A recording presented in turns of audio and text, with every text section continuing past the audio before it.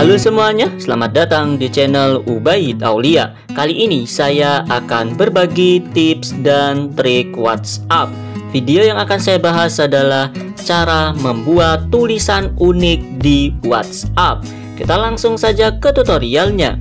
Jadi, cara membuat stiker tulisan di WA di sini teman-teman kita membutuhkan satu buah aplikasi tambahan. Nah, aplikasinya bisa kita dapatkan di Play Store.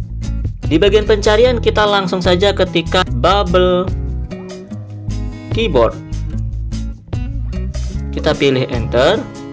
Nah, aplikasinya yang ini. Jadi teman-teman silakan saja menyesuaikan judul dan juga icon dari aplikasinya, kemudian langsung saja diinstal aplikasinya. Oke, setelah berhasil diinstal aplikasinya, kita langsung saja buka aplikasinya yang ini Bubble Keyboard. Kita pilih Save. Pilih izinkan.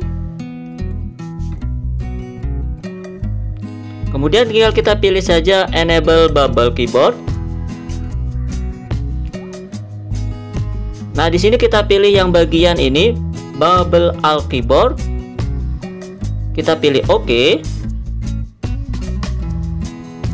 kemudian tinggal kita pilih saja bagian yang bubble al keyboard nah di sini kita bisa pilih bahasanya. Kita pilih bahasa Indonesia. Kita pilih next. Kemudian tinggal kita pilih save.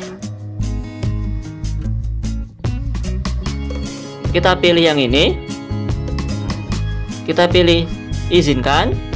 Pilih izinkan. Oke, jika sudah selesai tinggal kita kembali saja. Kita buka aplikasi WhatsApp-nya. Nah, selanjutnya untuk membuat stiker WhatsApp-nya tinggal kita ketikkan saja di bagian chat. Kemudian tinggal kita ketik saja tulisan yang akan kita jadikan stiker. Contoh saya tulis nama saya. Nah, kita tinggal pilih bagian yang ini. Maka secara otomatis di sini kita sudah berhasil membuat tulisan unik di WA. Saya berikan contoh lagi. Tinggal kita pilih aja. Nah, teman-teman bisa lihat di sini sudah ada stiker tulisannya. Oke, teman-teman, itulah tadi tutorial cara membuat tulisan unik di WA. Semoga tutorial ini bermanfaat.